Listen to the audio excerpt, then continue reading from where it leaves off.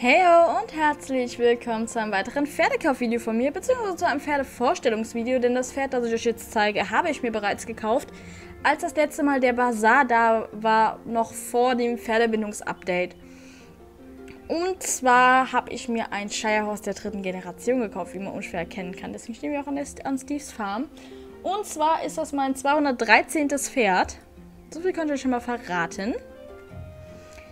Die Shirehorse der dritten Generation kam 2022 rein, sind also jetzt schon ungefähr ein Jahr alt.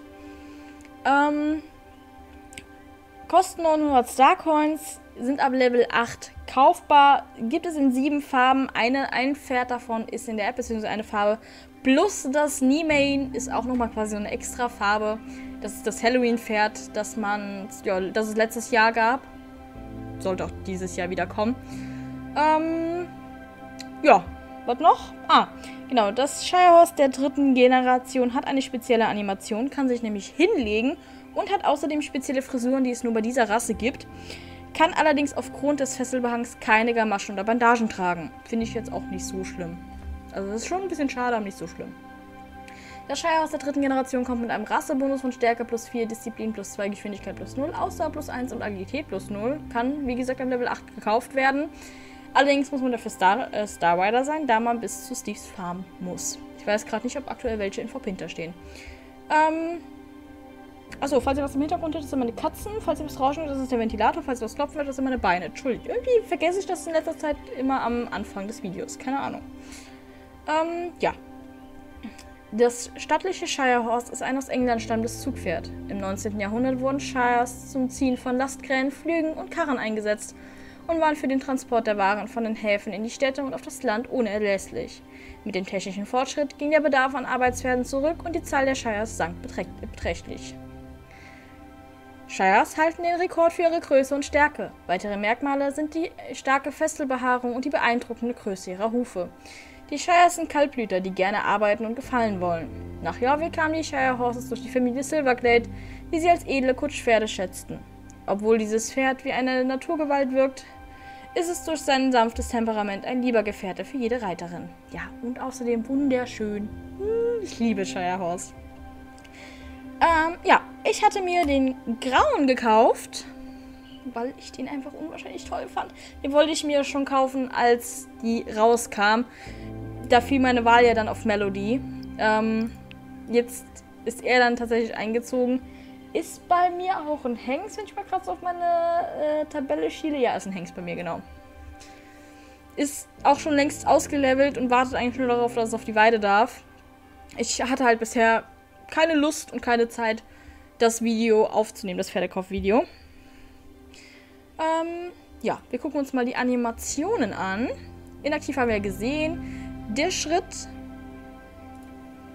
Der Trab der Kanter, der Galopp,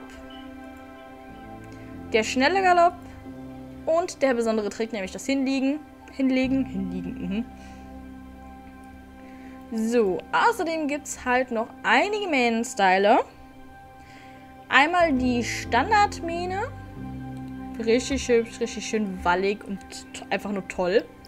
Dann haben wir diese Stehmähne hier.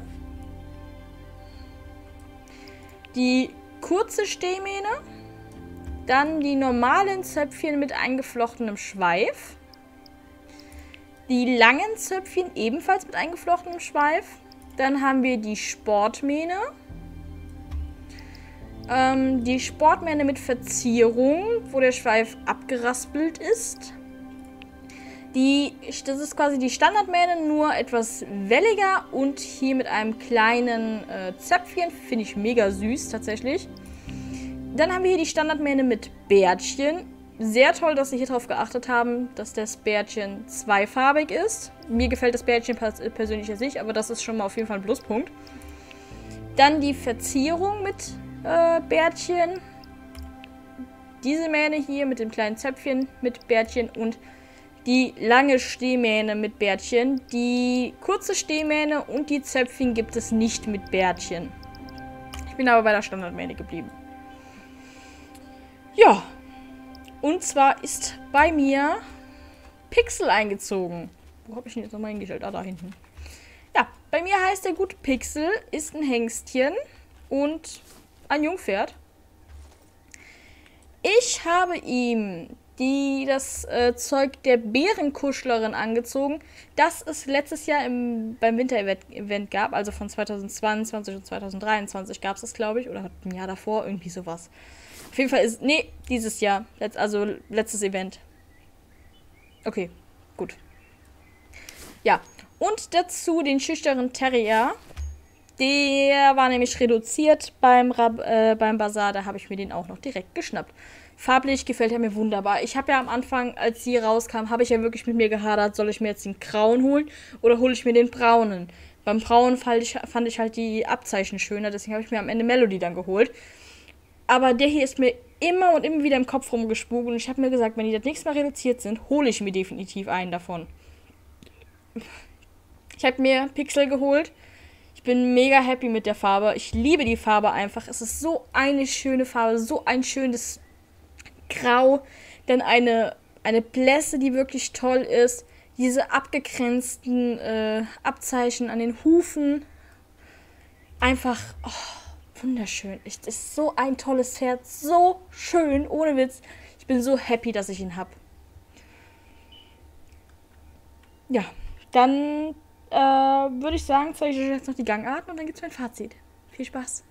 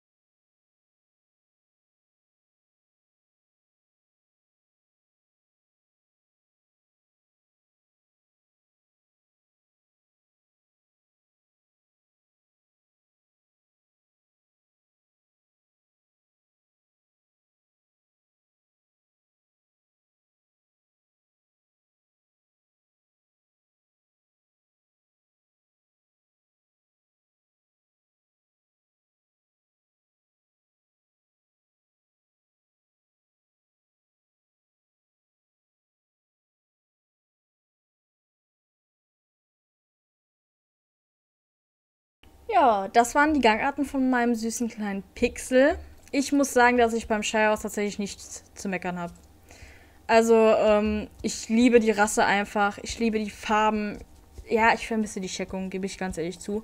Aber ich liebe die, die Farben, die es da gibt. Ich liebe den Körperbau. Ich liebe die Hufe. Ich liebe das Pferd an sich. Es, oh, es gibt eine 10 von 10 auf jeden Fall von, bei mir ähm, für die Shirehorse. Also ich kann da absolut nicht meckern. Mir gefällt es, dass sie auch so ein bisschen schwerfälliger laufen. Da da natürlich einiges an Gewicht dran hängt, laufen die Pferde natürlich etwas schwerfälliger. Klar, dass so ein Kaltblut nicht so elegant quasi äh, laufen kann wie ein Warmblut, das natürlich deutlich weniger Gewicht hat. Ähm, ich liebe Kaltblüter einfach und das Shire Horse der dritten Generation ist einfach mega. Also ich bin verliebt, ich bin absolut verliebt in die äh, Shire Horse. Und ähm, das Einzige, was ich so ein bisschen doof finde, ich hatte mir, das Video kommt auch noch, noch ein anderes Shire Horse gekauft.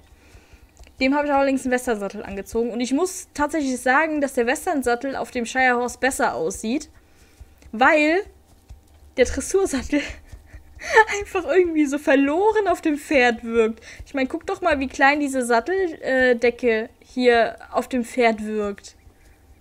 Keine Ahnung. Das sieht irgendwie so mini aus. Naja, äh, ist ja im Prinzip ja auch nicht so schlimm. Aber ich glaube, wenn ich mir noch einen Shire Horse holen würde, dann äh, wird als nächstes ein, ein Westernsattel einziehen. Habe ich einen Western? Guck mal, ich habe den Westernsattel sogar dabei. Ich meine, guckt euch mal diesen Vergleich an. Das ist der Westernsattel. Von der anderen Seite sieht man es besser, weil die Satteltasche nicht im Weg ist.